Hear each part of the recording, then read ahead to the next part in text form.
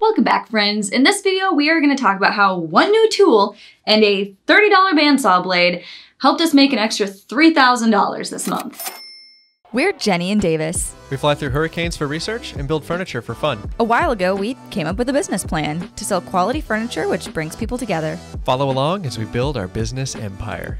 Empire? Yes, Jennie, big goals. Okay, we're starting an empire. Maybe one day it'll span beyond the garage.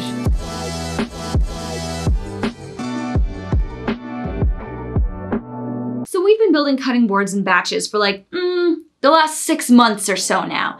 And we've got a really nice process, it's very repeatable, and we're comfortable running all the checklists to build the batches. We've even proven by using my brother Eric, that somebody who doesn't know woodworking, has had not a lot of experience with tools, can come in, follow the checklist, and build cutting boards correctly. So that just in and of itself is a huge victory for our business. But there's a few things we've noticed about the process that could be improved. And you've seen them too. We've seen your comments and suggestions.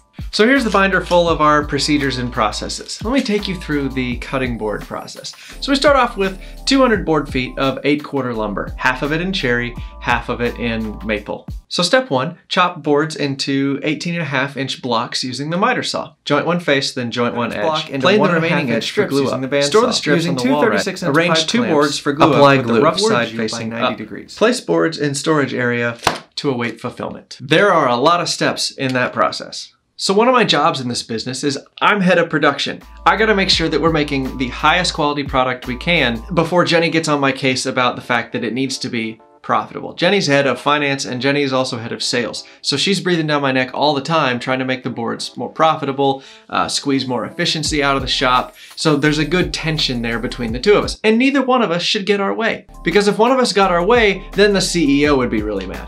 Who's the CEO? I'm also the CEO, but we got separate. You, you need to wear a lot of hats, different hats when you're running a business. I'll bet your performance report meetings get pretty, uh, feisty.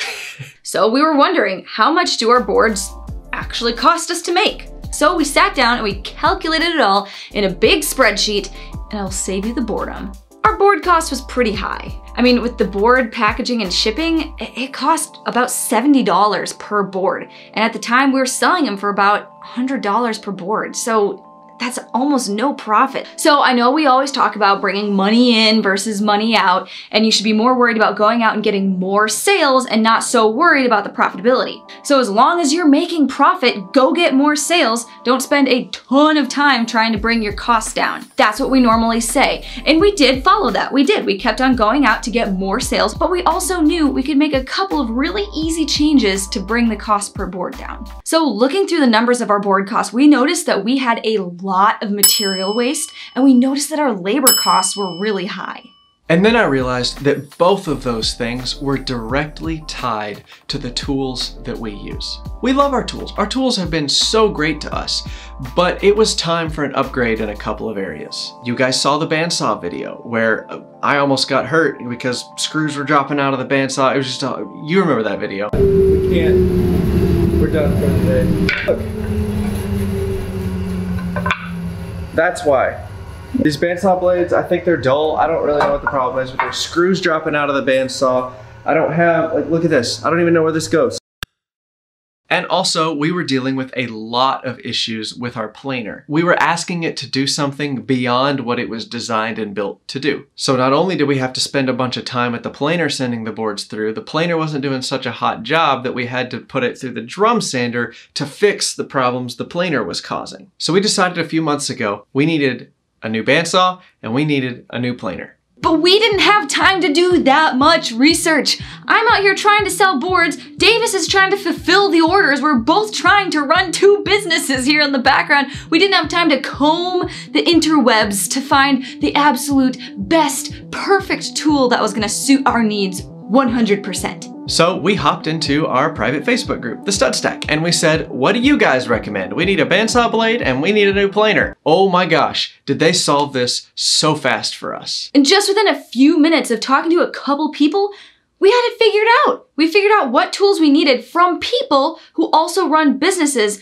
who have the same priorities as we do. So you know all those tool reviews that you see out on the internet? Those are great and they're helpful, but only if the person's using the tool for the same thing you're using the tool for. And let's be honest, most of those are done by hobbyists, not production shops. But the stud stack is full of people just like us, people trying to make money using the tools to fuel their business. And that's the beauty of joining a community like the stud stack. Your business can grow so much faster than if you were just trying to bootstrap it and do it all on your own. So that's where we got the best suggestions.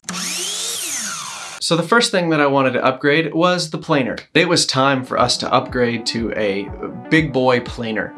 I decided that if we're gonna buy a big planer, I wanted to go as big as I possibly could. And the biggest planer that I could fit in that tiny little garage is a 20 inch Grizzly helical head planer. So I got on the computer and I ordered one. And then I realized they were back ordered for six months. And then we moved on to the bandsaw. So we bought a couple new bandsaw blades. We realized that we didn't need to replace our whole bandsaw. It was just a dull blade that was the problem. And we found an amazing bandsaw blade. The bandsaw blade is called the Wood Slicer from Highland Woodworking. I'll put a link down in the description. And the bandsaw blade is only $30. So we can do an entire batch of boards. By the end of the batch, the bandsaw blade's dull, we take it out, throw it away. Solves every problem. There was not near as much waste, there was no waviness, everything was dialed in perfect. The bandsaw is the way to go if you're cutting out strips for cutting boards. So I finished up that batch of boards and oh my gosh, they were so thick. Like that batch of boards was ridiculously thick. Each board was almost an inch and a half thick. We only advertised that our boards are a little over an inch thick and they were an inch and a half thick. So we realized that we could cut much thinner strips and that's exactly what we did on the next batch. And about halfway through that batch, we get another email. Thank you for your web order. The following merchandise has shipped.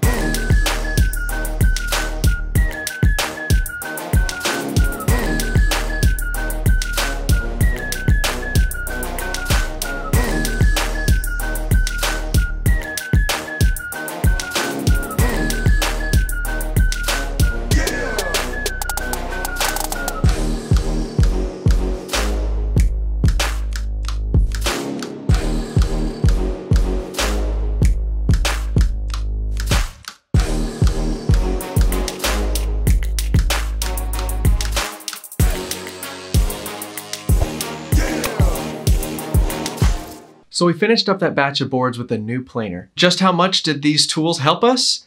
Jennie's gonna break down the numbers for you. All right, so we're gonna go over the numbers for the cost of a batch of boards with our old tools and now what it costs for a batch of boards and how much we profit with all the new tools we've incorporated in our process. So it doesn't get confusing, just keep in mind that these numbers are all based off of the same 200 board feet of lumber per batch. All right, so with our old tools and our old procedure, the cost per board was $27.53. That is just the cost of the physical board itself. The packaging cost is $21.03.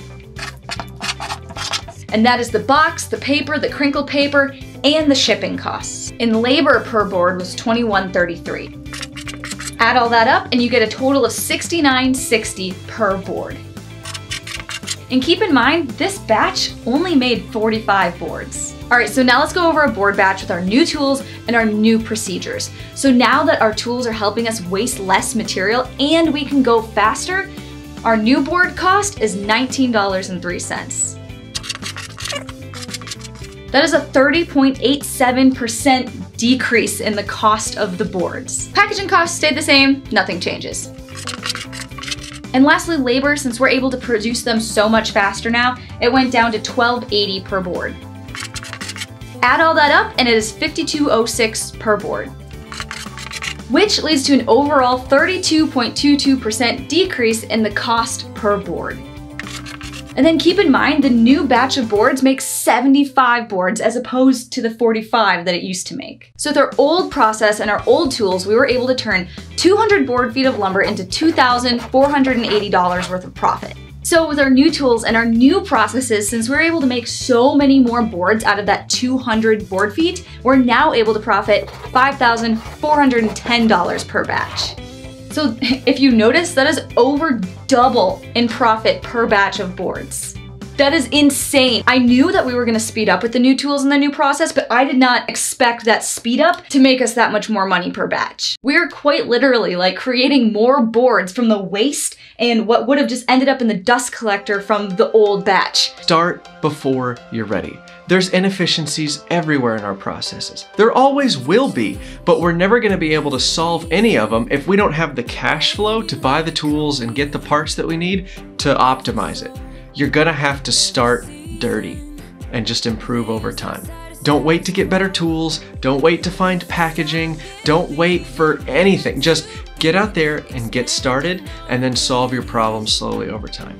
This is an iterative process. So speaking of iterative processes, make sure you subscribe down below and hit the bell so that you can see our iterative process over time. So thanks for watching and we will catch you on the next one.